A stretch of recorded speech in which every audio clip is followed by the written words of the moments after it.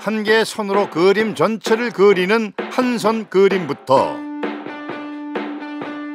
요리조리 복잡한 선으로 미로를 그리는 미로 그림까지 선을 이용해 독특한 그림을 그렸던 순간 포착의 출연자들.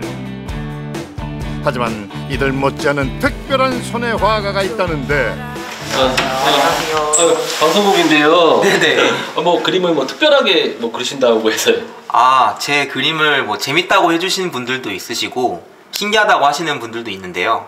뭐 안쪽으로 들어와서 한번 구경해 보시겠어요? 네, 바로 이, 이 그림들이거든요. 인물화가 많네요. 오, 다 얼굴인데요? 네. 세상에 한쪽 벽을 꽉 채운 그림들 이게 바로 남다르다고 소문난 문제 작품들이라는데 와, 너무 똑같이 잘 주로 그리셨다. 인물화를 그리는데 뭘로 그린 거예요? 어허 근데 그리긴 잘 그렸다만 대체 어떤 점이 특별하던 건지 야, 저기 정찬성 연예인이나 스포츠 스타, 뭐 캐릭터 같은 거를 그려본 건데요. 네. 제가 그린 그림들은 모두 세로선으로만 그린 그림들이거든요. 네? 에? 세로선이라고요?